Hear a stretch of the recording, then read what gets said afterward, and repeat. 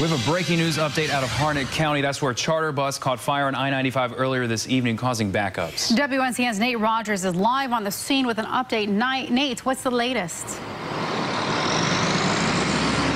Sean and Sharon, we're live on I-95 in Dunn. Um, and let me just take a look and show you what's going on right here, what a lot of folk are dealing with. This charter bus right here, um, our cameraman is going to zoom in. Sometime around 3 o'clock, officials tell us it caught fire. Now, officials aren't sure just yet how it caught fire. When our cameraman got on the scene, he tells us a witness told him that the fire was caused by a tire that blew out.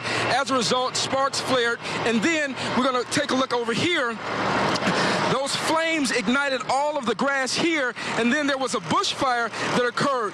The big problem is it's caused miles and miles of traffic, folks driving and riding bumper to bumper. Now, we're told that there was only one person on the bus at the time. That was the bus driver. He is not injured. We just talked to him. He wouldn't talk to us on camera, but there were no other injuries. The problem right now that they're trying to get cleared up is just making sure that folks are safe and sound, that there are no other incidents, because, as I said, traffic has been backed up along the stretch for nearly the last couple of hours. For now, that's all we have. We're in, we're in Dunn. Nate Rogers, WNCN News. All right. Thank you, Nate. Of course, I'll have the latest online and also tonight at 11. Thank you.